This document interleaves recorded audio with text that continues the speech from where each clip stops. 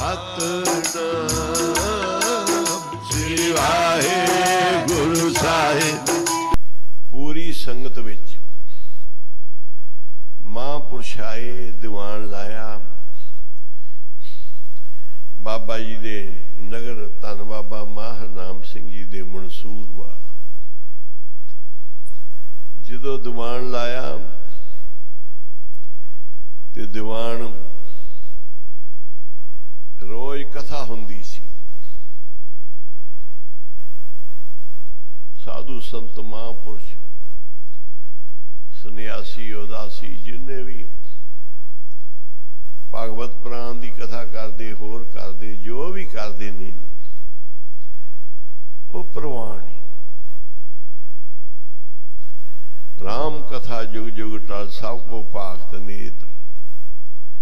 ਨਿਤ ਹੁੰਦੀ ਕਥਾ ਇਹ ਜੁਗੋ ਜੁਗ ਟਾਲ।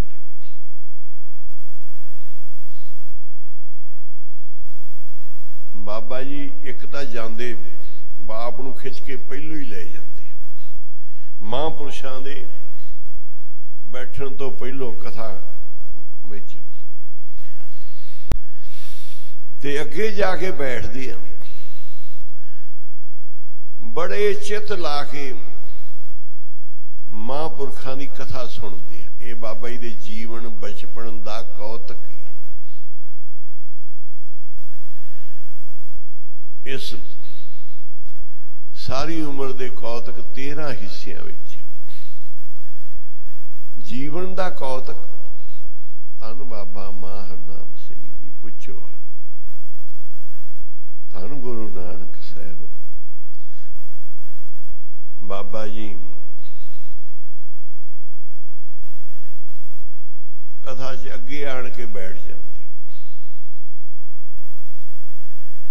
ਸਾਰੀ ਕਥਾ ਸੁਣਦੇ। ਕਹਿੰਦੇ ਮਹਾਂਪੁਰਸ਼, ਸੁਰਤੀ ਬਿਰਤੀ, ਸੰਗਤ ਵਿੱਚ ਆਉਣਾ, ਸੰਗਤ ਵਿੱਚ ਆ ਕੇ ਬੈਠਣ ਦਾ।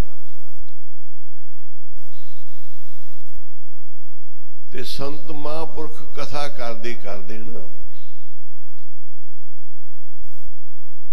ਉੱਠ ਕੇ ਬਾਬਾ ਮਾਹਰ ਨਾਮ ਸਿੰਘ ਜੀ, ਛੋਟੀ ਉਮਰ ਬਾਬਾ ਜੀ ਦੀ ਜਾ ਕੇ ਮੱਥਾ ਟੇਕੀ, ਚਰਨਾਂ ਨੂੰ ਹੱਥ ਲਾਇਆ, ਆਖੋ ਬੱਚੇ,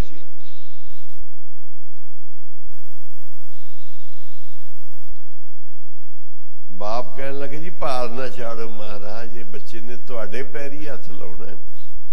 ਤੁਸੀਂ ਕਿਉਂ ਲਾਉਂਦੇ?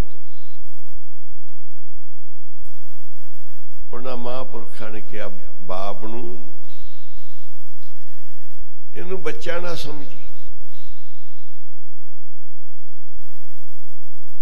ਇਹ ਕੋਈ ਰੱਬੀ ਜੋਤ ਹੈ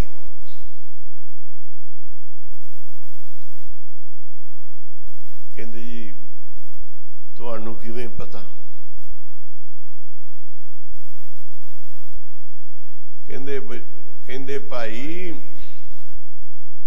ਹਰ ਚੀਜ਼ ਜਾਤ ਰੰਗ ਢੰਗ ਤੋਂ ਪਰਖੀ ਜਾਂਦੀ ਹੈ ਆ ਫੁੱਲ ਨੇ, ਸਬਜ਼ੀਆਂ ਨੇ, ਦਾਲਾਂ ਨੇ ਕਿੰਨੇ ਤਰ੍ਹਾਂ ਦੀਆਂ। ਬੰਦੇ ਨੇ, ਹਰ ਇੱਕ ਦੀ ਪਰਖੇ ਰੰਗ ਢੰਗ ਤੋਂ। ਸਭ ਦਾ ਆਪਾਂ ਨੂੰ ਪਤਾ ਕਿਹੜਾ ਕੌਣ ਕਿਹੜਾ ਕੌਣ। ਤੇ ਸੰਗਤ ਵਿੱਚ ਵੀ ਜਿਹੜੇ ਆਉਂਦੇ ਆ, ਉਹ ਰੰਗ ਢੰਗ ਤੋਂ ਹੀ ਪਰਖੇ ਜਾਂਦੇ ਆ ਉਹ ਆਉਂਦੇ ਕਿਵੇਂ ਆ, ਉਹ ਬਹਿੰਦੇ ਕਿਵੇਂ ਆ, ਉਹਨਾਂ ਦੇ, ਉਹਨਾਂ ਦਾ ਮੁੱਖ ਹਿਰਦਾ ਕੀ ਬੋਲਦੇ ਆ, ਉਹਨਾਂ ਦਾ ਨੇਤਰ ਕੀ ਬੋਲ ਰਹੇ ਨੇ। ਇਹ ਰੰਗ ਢੰਗ ਹੀ ਦੱਸਦੇ ਨੇ। ਕਹਿੰਦੇ, ਮੈਂ ਕੁਝ ਦਿਨਾਂ ਤੋਂ ਦੇਖ ਰਿਹਾ। ਇਹਦਾ ਬੈਠਣਾ, ਇਹਦੀ ਬਿਰਤੀ ਇਸ ਬੱਚੇ ਦੀ। ਇਹ ਬੱਚੇ ਦੇ ਪਿੱਛੋਂ ਹੀ ਕੋਈ ਦਰਗਾਈ ਕਿਰਪਾ, ਇਹਨੂੰ ਕਿਸੇ ਨੇ ਪੜਾਇਆ ਨਹੀਂ, ਸਮਝਾਇਆ ਨਹੀਂ, ਤੁਹਾਡੇ 'ਚ ਕੋਈ ਹੈ ਨਹੀਂ।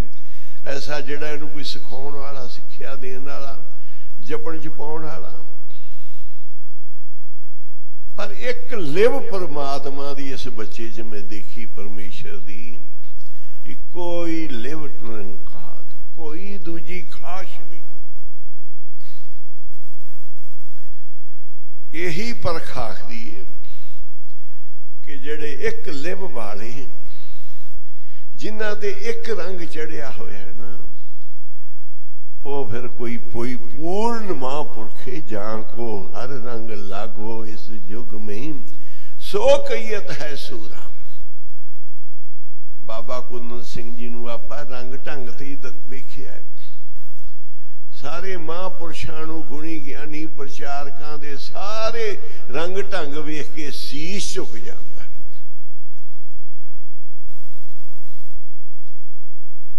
ਸੰਗਤ ਦੇ ਵਿੱਚ ਬਹਿਣੀ ਉੱਠਣੀ। ਸੰਗਤ ਵਿੱਚ ਆਉਣਾ ਜਾਣਾ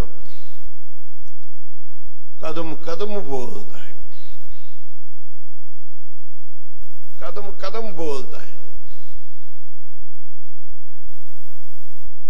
ਇੱਕ ਇੱਕ ਝਲਕ ਬੋਲਦੀ ਹੈ ਕਿ ਕੌਣ ਹੈ? ਇਹ ਕੋਈ ਖਿਰਲੀ ਬਿਰਤੀ ਵਾਲਾ ਸੰਗਤ ਵਿੱਚ ਬਹਿ ਗਿਆ। ਬਾਬਾ ਨੰਦ ਸਿੰਘ ਜੀ ਮਹਾਰਾਜ ਨੇ ਕੀਰਤਨ ਬੰਦ ਕਰਾ ਕੇ ਤਾੜਨਾ ਸ਼ੁਰੂ ਕਰਤੀ। ਆਖਿਆ, ਬਾਂਦਰ ਟਪੂਸੀਆਂ ਪਿਆ ਮਾਰਦਾ ਹੈ ਆਖੋ ਉਹ ਬੜੀ ਖਿਰਲੀ ਬਿਰਤੀ ਆਲਾ ਸੀ, ਬਾਣਾ ਸਾਧੂ ਦਾ ਪਾਇਆ ਸੀ। ਬਹੁਤ ਉਖੜੀ ਉਖੜੀ ਬਿਰਤੀ ਵਾਲਾ ਬੈਠਾ ਸੰਗਤ ਵਿੱਚ ਕੀਰਤਨ ਵਾਲੇ ਮਹਾਂਪੁਰਸ਼ਾਂ ਹੰਸਾਂ ਵਿੱਚ ਬੈਠਾ ਬੱਗ ਨਾ ਬਣੀ। ਨਿਤ ਬੈਠਾ ਮੱਛੀ ਨੂੰ ਤਾਰੀ ਲਾਵੇ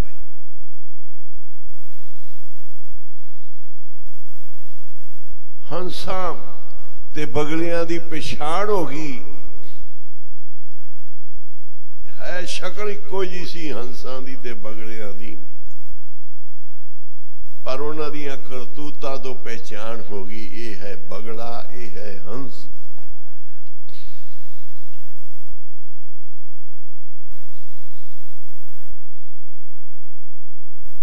ਗੁਰੂ ਨਾਨਕ ਦੀ ਸੰਗਤ ਬਗਲਿਆਂ ਨੂੰ ਵੀ ਹੰਸ ਕਰ ਦਿੰਦੀ ਕਾਮਾਂ ਨੂੰ ਵੀ। ਸਤਨਾਮ